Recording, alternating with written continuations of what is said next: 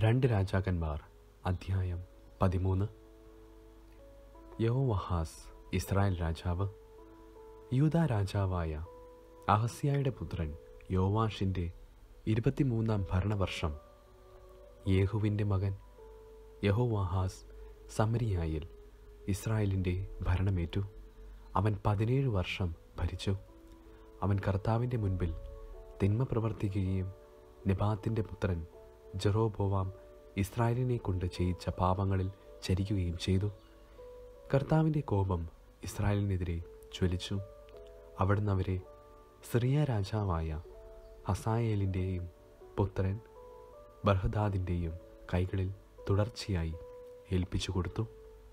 അപ്പോൾ യോഹാസ് കർത്താവിനോട് യാചിച്ചു. അവിടുന്ന് കരുണ കാണിച്ചു.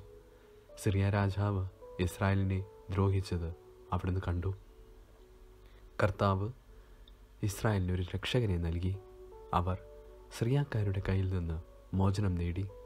ഇസ്രായേൽ ജനം മുൻപിലത്തെ പോലെ സ്വഭവനങ്ങളിൽ വസിച്ചു. എങ്കിലും ഇസ്രായേൽ ജറോഭവാം തങ്ങളെക്കൊണ്ട് ചെയ്യിച്ച പാപങ്ങളിൽ നിന്ന് പിന്മാറാതെ അവയിൽ മുഴുകി. സമരിയായിൽ അഷേരാ പ്രതിഷ്ഠ നിലനിന്നു.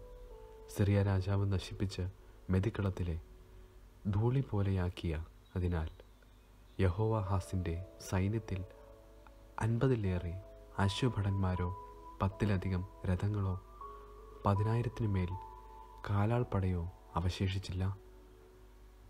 യഹോവാസിന്റെ മറ്റ് പ്രവർത്തനങ്ങളും അവന്റെ ശക്തിപ്രഭാവവും ഇസ്രായേൽ രാജാക്കന്മാരുടെ ദിനവൃത്താന്തത്തിൽ രേഖപ്പെടുത്തിയിട്ടുണ്ടല്ലോ. യഹോവാഹാസ് പിതാക്കന്മാരോട് ചേർന്നു. സമരിയായിൽ സംസ്കരിക്കപ്പെട്ടു. അവന്റെ പുത്രൻ യഹോവാഷ് രാജാവായി. യഹോവാഷ് ഇസ്രായേൽ രാജാവ്.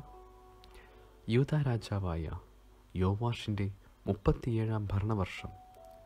യഹോവാഹാസിന്റെ മകൻ യഹോവാഷ് സമരിയായിൽ ഇസ്രായേലിന്റെ രാജാവായി.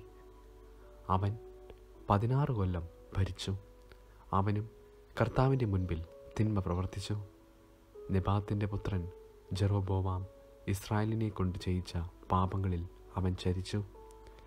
യഹോവാഷിന്റെ പ്രവർത്തനങ്ങളും യൂധാരാജാവായ അമസ്യായോട് ചെയ്ത യുദ്ധത്തിൽ പ്രകടിപ്പിച്ച ശക്തിപ്രഭാവവും ഇസ്രായേൽ രാജാക്കന്മാരുടെ ദിനവൃത്താന്തത്തിൽ രേഖപ്പെടുത്തിയിട്ടുണ്ടല്ലോ. യഹോവാഷ് പിതാക്കന്മാരോട് ചേർന്നു. ജെറോബോവാം സിംഹാസനാരൂഢനായി. യഹോവാഷ് സമരിയായിൽ ഇസ്രായേൽ രാജാക്കന്മാരോടൊപ്പം സംസ്കരിക്കപ്പെട്ടു. എലീഷായുടെ മരണം. എലീഷ രോഗഗ്രസ്തനായി മരണത്തോടടുത്തു. ഇസ്രായേൽ രാജാവായ യഹോവാഷ് അവന്റെ അടുത്ത് വന്ന് കരഞ്ഞുകൊണ്ട് പറഞ്ഞു പിതാവേ എന്റെ പിതാവേ ഇസ്രായേലിന്റെ രഥങ്ങളും സാരഥികളും എലീഷ പറഞ്ഞു അമ്പും വില്ലും എടുക്കുക. അവൻ എടുത്തു. എലീഷ തുടർന്നു. വില്ല് കുലയ്ക്കുക. അവൻ വില്ല് കുലച്ചു. രാജാവിന്റെ കൈകളിന്മേൽ കൈകൾ വെച്ചുകൊണ്ട് എലീഷ പറഞ്ഞു കിഴക്കോട്ടുള്ള കിളിവാതിൽ തുറക്കുക. അവൻ തുറന്നു. എലീഷ പറഞ്ഞു എയ്യുക. അവൻ എയ്തു. അപ്പോൾ എലീഷ പറഞ്ഞു കർത്താവിന്റെ വിജയാസ്ത്രം. സ്ത്രീയ്ക്കെതിരായുള്ള വിജയാസ്ത്രം അഫേക്കിൽ വെച്ച് ശ്രേയയുമായി യുദ്ധം ചെയ്ത് നീ അവരെ നശിപ്പിക്കും. അവൻ തുടർന്നു അമ്പുകൾ എടുക്കുക. അവൻ എടുത്തു. അവൻ രാജാവിനോട് പറഞ്ഞു അമ്പുകൾ നിലത്തടിക്കുക. അവൻ മൂന്ന് പ്രാവശ്യം അടിച്ചു നിർത്തി. ദേവപുരുഷൻ കുപിതനായി പറഞ്ഞു നീ അഞ്ചോ ആറോ പ്രാവശ്യം അടിക്കേണ്ടതായിരുന്നു.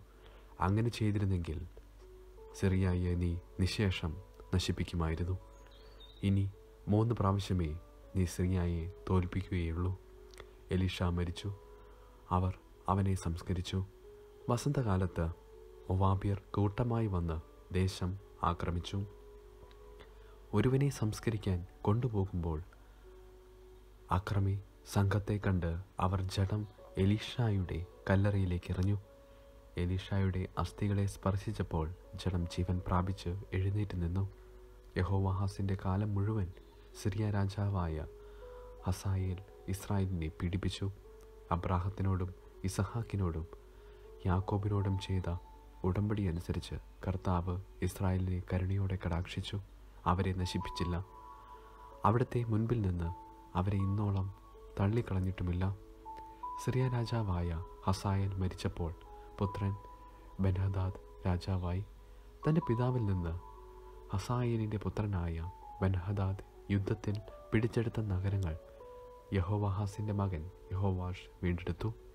യഹോവാഷ് മൂന്ന് പ്രാവശ്യം ബെൻഹദാദിനെ തോൽപ്പിച്ച് ഇസ്രായേൽ നഗരങ്ങൾ വീണ്ടെടുത്തു.